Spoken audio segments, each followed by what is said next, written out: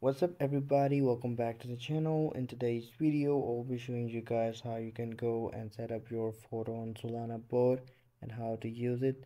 So just follow these steps. I'll show you guys in this video. Let's dive right in. Now the first step you guys should be doing is adding this phantom wallet extension to your chrome browser because without this you cannot go and connect or log in to your photon solana bot now create a new wallet or import an existing phantom wallet if you have. And you'll be able to see connect wallet icon once you add the phantom wallet extension. And if you click on the connect wallet you'll be able to see this phantom wallet extension popping up.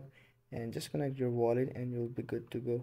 Now here you will get the address of your photon trading wallet that you will get. And you'll use the phantom platform to use this wallet. And once you have got the address you can use this for your trading hit the generate button and get your private key. You have to save it to somewhere really safe so that you might not risk losing your wallet. After that the steps are complete. Here you can deposit some solana in your wallet or you can just choose to continue. We'll just go and click on continue and we'll be able to see the bot uh, interface loading up and there it is what you see are the token pairs that have been created in the last 24 hours and this updates in real time as you guys can see. And you must be aware of the market trends to utilize this tool correctly. There are multiple options provided to you guys on the above bar as you guys can see here.